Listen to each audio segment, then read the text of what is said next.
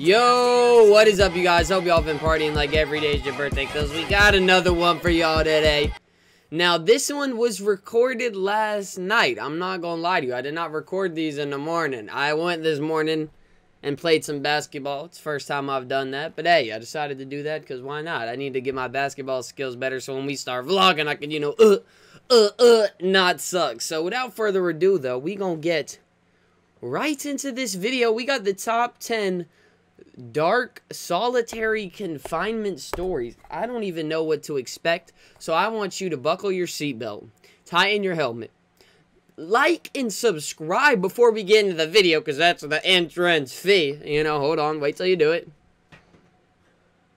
Okay, and now the video's been unlocked. We can get right into it. Number 10. There we go, y'all. Caesar Villa's essay. Caesar Villa was a prisoner in a California penitentiary, and after some of the guards declared that he was a gang member, they decided that it was time to lock him away in solitary confinement hey. for mm, an unknown amount of time. After he was what released, exactly... he wrote an essay about what it felt like going through so that. what is sol so solitary confinement is just a room by yourself and you just stay in there for a little bit?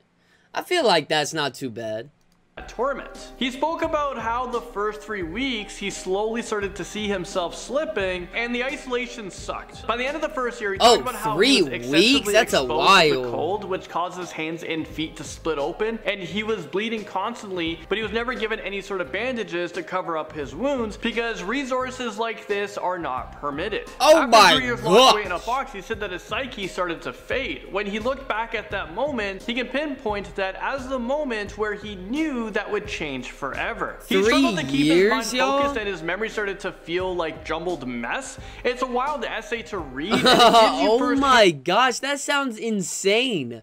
Three years into a cell by yourself with nobody else? And insight what it was like to go Who wouldn't go crazy? Isolation, being in isolation in a solitary confinement. Number nine. Like what? Not everyone's a monster. All right, let's continue on this list of the dark solitary confinement stories. At number nine, we have not everyone's a monster. Their perspective on the other side can let us know that not even the guards like what's happening in these prisons. What do you mean? A corrections officer posted on Reddit about how watching inmates get forced into solitary confinement was the worst part of his Yeah, I bet that'd be hard to like put somebody in there. The corrections you have to put you have to put people into a cell where they're gonna lose their mind, bro. I'm sure that's not an easy task. They didn't to want to see do. the inmates hurt or tormented. They just wanted to come in and do their job and just leave without being harmed or seeing the inmates and convicts harmed. This course, Reddit poster talked about a particular incident where a warden forced someone to stay in solitary confinement for a minor offense. They were shoved into a room that had no bed and there was literally just a shower. No they bed? stayed there for three days and started to self-harm because they just couldn't take it. They were going crazy. The person was removed and afterwards the warden was Yeah, I feel like so I feel like sure the reason I would go crazy is I just be so bored. You know what I'm saying? I'm a people person. So if I ain't got no people to be people persons with, I'm just gonna be a weird people person by myself and a people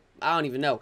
I'll go crazy. Like button because it really helps us sell. It really helps us sell. It does. It, does. Please. Our number eight, we have I William really help. Blake. I really William appreciate Blake it. has been in solitary confinement for over 25 years, and he's still surviving there. Is this real life right now? 25 years of anything is way too long. He continues to write about his experience stuck in his cell years? in an article titled "A Sentence Worse Than Death." He talks about feeling loneliness and boredom that seem to be so powerful they have a physical effect on his body. I'd like be that pressure boardy. just seeping in. Every day in solitary confinement. If I'm that like bored, a I can see that happening. To hold on to your own psyche. He has seen many men lose the battle with the box, have their mind slip away, and slowly but surely go insane from the pressure of being alone every day, all day for years at a time. See, But he said 25 years, I'd be insane. Is when the guards walk into a cell and they find a man hanging from the ceiling. Very tragic. Many of the people that are forced into solitary confinement Logan are Paul, going stay to away. Make it to the point where they are released or lose their mind. They're gonna end up suffering on their own terms.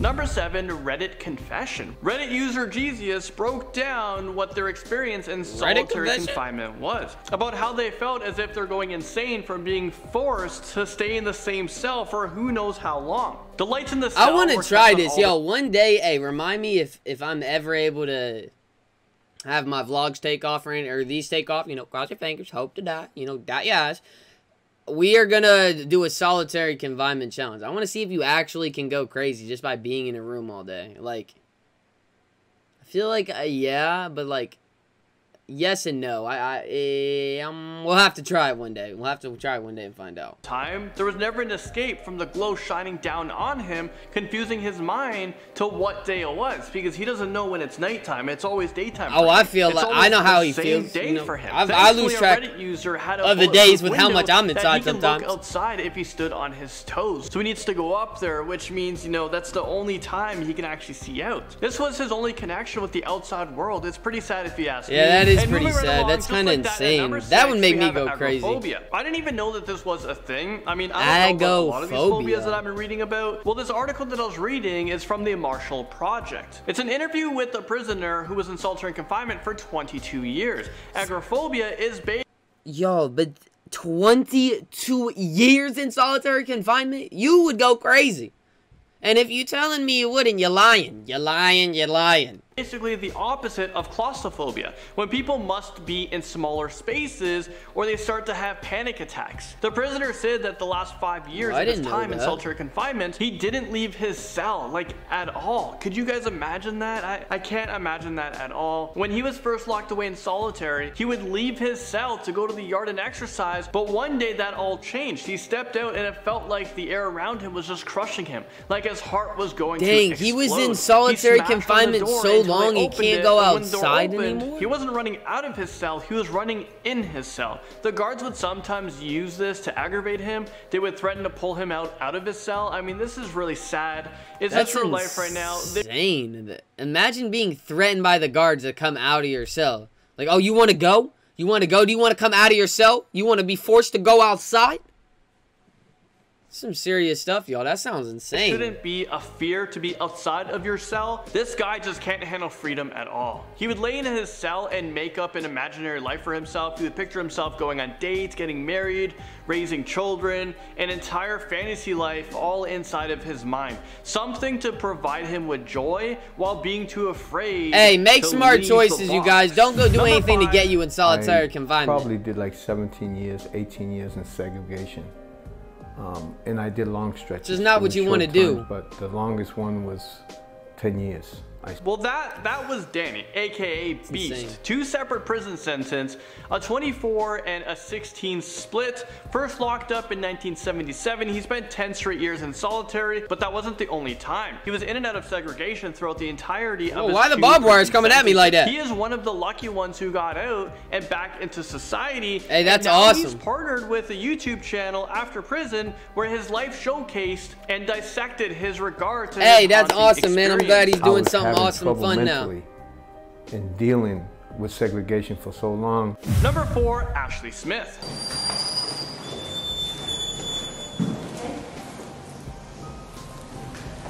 Stay still, Ashley. What's happening?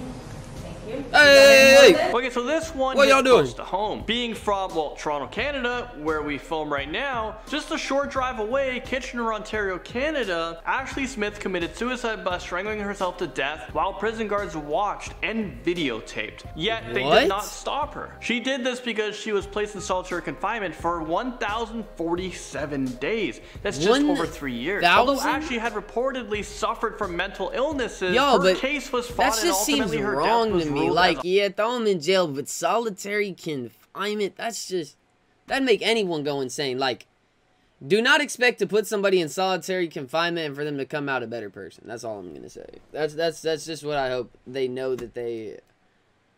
There's no way that they're helping the people.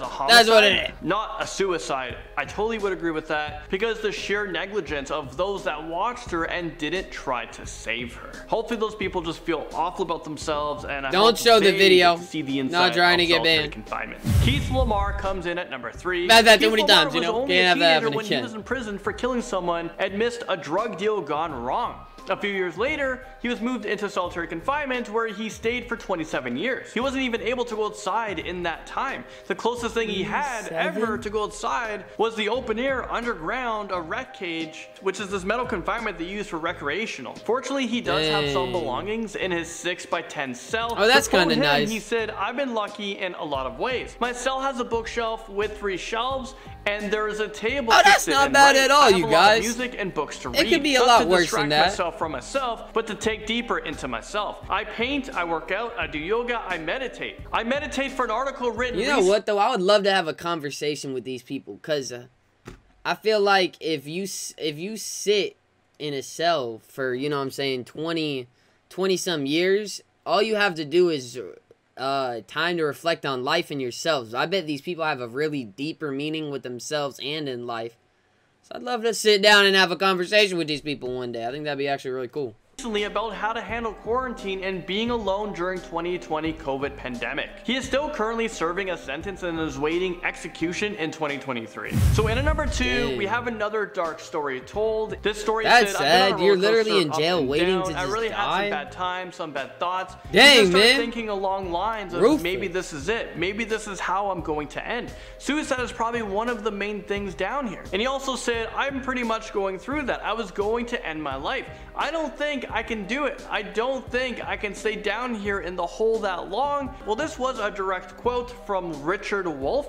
A man who experienced 640 days in solitary confinement. His brother is shown holding a photo of Richard who died in prison when he collapsed in the exercise yard. And this is during the one hour so a day he was allowed outside due to underlying heart conditions that were never met with appropriate medical attention. And we have Albert Number Woodfox one, y'all. Number one. We've talked about him many Albert times. Well, this right here is Albert Woodfox. Well, he was kept in solitary confinement for. Okay, wait for it. You guys won't believe it.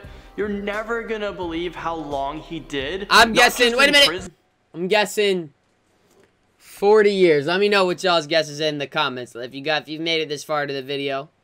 I'd be surprised considering uh, not too many people do, but if you do, drop a comment because you would G and let me know your guess. Prison, but in solitary confinement. Well, if your guess was 43 years, you would be correct. He was Ooh, first placed in there when he was accused of murdering a prison guard, something he denies to this day and believes that he was framed or there was funny business going on. The prison had no That viable reason to keep him in a six foot by nine foot concrete box by himself for that years long, but they did, allowing Albert only one hour of solo yard time a day With- while he remained shackled. So While he thought he was in innocent, too? outside for an hour, but yet you still have to be shackled. In the last year of prison, they cut that down to just three hours a week. I'm blown away by how absolutely awful this is. That poor man is Yeah, finally that- out of prison and he's in goodness. his early 70s. Imagine being there for a crime you never committed. Yeah, guys that'd be guys so that, that's so unfair, man. I hate to see people go to jail for crimes they didn't commit. I, that's absolutely insane. Y'all be easy though. I hope you guys have an absolutely fantastic day. I hope y'all enjoyed that video. I'm probably playing basketball right now. You know what I'm saying? Uh, uh, uh, uh, bucking it up. Or actually, I probably did this morning, so I'm, I'm probably already home by now. But y'all be easy. Hope y'all have a great day, and uh, make sure to like and subscribe. Deuces.